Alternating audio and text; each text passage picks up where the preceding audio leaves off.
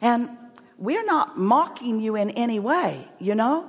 Those problems that you are willing to focus into being are the basis for the expansion of all of the universe because this commensurate thing that we're talking about when you identify a problem you create a solution. But we want you to find a faster route for you to the solution. You know what happens as this body of people this mass consciousness on planet earth is having all of its exposure to one another and creating all of these things that you might call good and bad wanted and unwanted.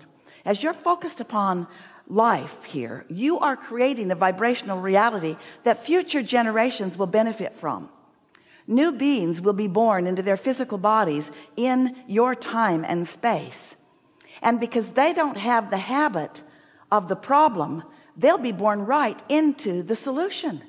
And because they are vibrationally matched to the source within them they'll find access to your collective consciousness vortex of creation.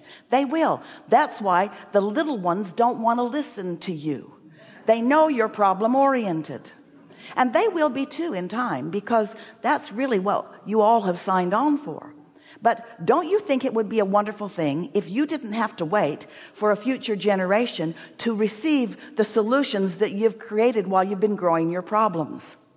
Wouldn't it be a wonderful thing if you could be part of the group of beings who is growing the problem and the solution? And wouldn't it be a wonderful thing if you could find a way of once it has grown sufficiently large enough to delight you once your problem has grown sufficiently enough that you have created a magnificent growth spurt of a solution.